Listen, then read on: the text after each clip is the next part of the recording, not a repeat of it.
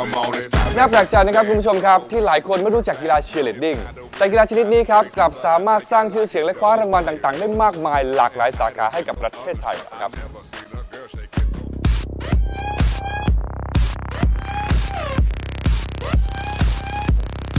ในปี 2547 ทีมเชียร์ลีดดิ้งของไทย สามารถคว้ารางวัลมาได้ 5 รางวัลจากประเทศอังกฤษ เป็นครั้งแรกที่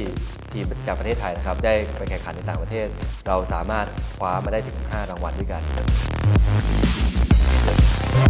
ในปี 2551 ทีมเชียร์ลีดดิ้งของไทย สามารถคว้ารางวัลมาได้ 5 รางวัล จากประเทศญี่ปุ่น แต่สิ่งหนึ่งที่ได้จากการแข่งขันครั้งนั้น ก็คงจะเป็นเรื่องของสปิริต